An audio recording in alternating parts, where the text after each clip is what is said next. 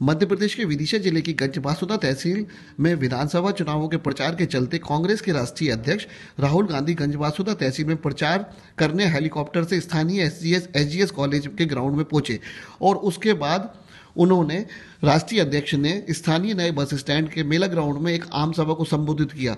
आपको बता दें कि इस गंजबासुदा एवं ग्यारसपुर विधानसभा क्षेत्र से कांग्रेस के प्रत्याशी निशंक जैन चुनाव लड़ रहे हैं, जो पूर्व में भी चुनाव जीतकर विधायक बने थे। देखिए खबर एस के लिए। कैमरामैन नीरज के साथ हमारे ब्यूरो मुकेश तिवारी की गंजबासुदा एवं ग्यारसपुर विधानसभा क्षेत्र से एक रिपोर्ट।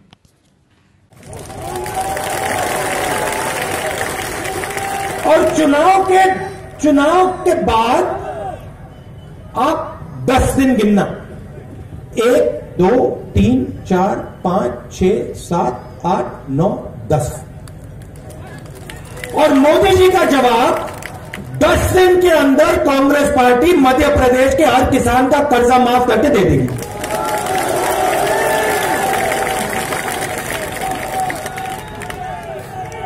मध्य प्रदेश का युवा शिक्षा चाहता है। पता लगता है कि अगर आप मध्य प्रदेश में एग्ज़ाम पास करना चाहते हो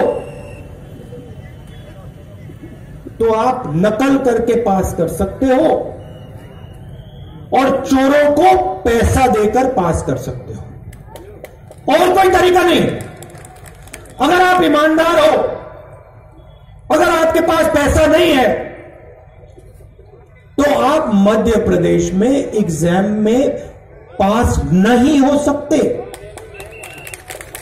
क्योंकि मध्य प्रदेश की सच्चाई व्यापक। पचास लोग मारे गए। पचास लोग मारे गए। कोई कार्रवाई नहीं।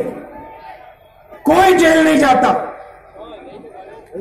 ई टेंडरिंग घोटाले में तीन हज़ार करोड़ रुपए का घोटाला होता है। कॉन्ट्रैक्ट चीफ मिनिस्टर के मित्रों को रिश्तेदारों को दिए जाते हैं। कुछ नहीं होता, कोई पकड़ा नहीं जाता। भाइयों और बहनों, पैसे की कोई कमी नहीं है। आपका पैसा हर रोज, हर लेवल पे ऊपर से लेकर नीचे, प्रधानमंत्री से लेकर चीफ मिनिस्टर से लेकर ब्यूरोक्रेट से लेकर ऊपर से नीचे आपका पैसा आपसे चोरी किया जा रहा है।